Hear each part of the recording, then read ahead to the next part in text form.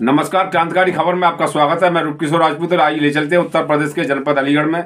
हमेशा सुर्खियों में बने रहने वाले भ्रष्टाचार विरोधी सेना के राष्ट्रीय अध्यक्ष के शब्दी ने ऑस्ट्रेलिया और भारत के बीच जो फाइनल मैच हुआ था मोदी स्टेडियम में, जिसमें भारत को हर का सामना करना पड़ा।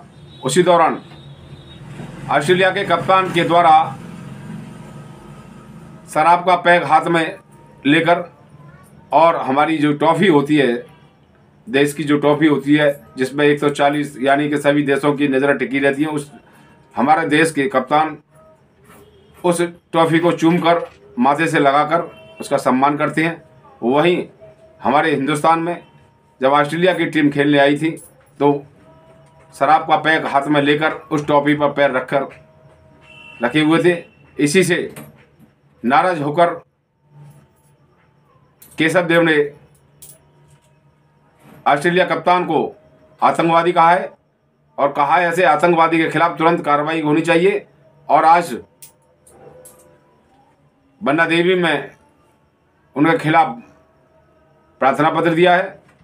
देखते हैं क्या कार्रवाई होती है और हमारे बीच बने हुए इस समय भ्रष्टाचार विरोधी के राष्ट्रीय अध्यक्ष केशवजीत जी और जानकारी करते हैं क्या है पूरा मामला। देखते रहिए क्रांतिकारी खबर विस्तार से।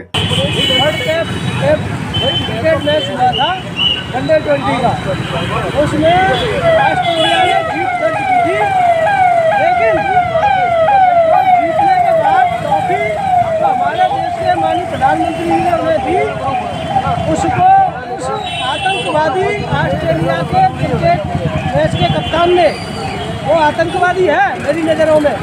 उसने भारत के प्रधानमंत्री जी के द्वारा दी गई ट्रॉफी का अपने पैरों के नीचे दबा करके घोर अपमान किया। है भारत तो हिंदुस्तान के देशवासियों का बहुत ही निंदा के साथ अपमान हुआ है। मान सम्मान को ठेस पहुँची है। भारतवासियों का अपमान हुआ है। ऐसे आतंकवादी के खिलाफ हमने तहरीर दी है कार्रवाई करने के लिए। तो क्या मुकदमा कायम किया भी नहीं किया? मैंने डेलीगेट एस साहब ने सी साहब से पूछा था। और सी साहब ने उसे साइबर सेल में जाँच के लिए भेज दिया है। और मुझे उम्मीद है कि जाँच में के बाद मुकदमा दर्ज होगा इस आतंकवादी के ऊपर। क्या ऑस्ट्रेलिया के पूरे ऑस्ट्रेलिया के खिलाफ या कप्तान के आतंकवादी मानते हैं आप? देश से मतलब नहीं है। देश कोई आतंकवादी नहीं होता। उस देश में कुछ लोग रहने वाले आतंकवादी मानसिकता के होते हैं। और ये मुझे उस आतंकवादियों का ही बाप लगता है। जो इस तरह का क्रम कर रहा है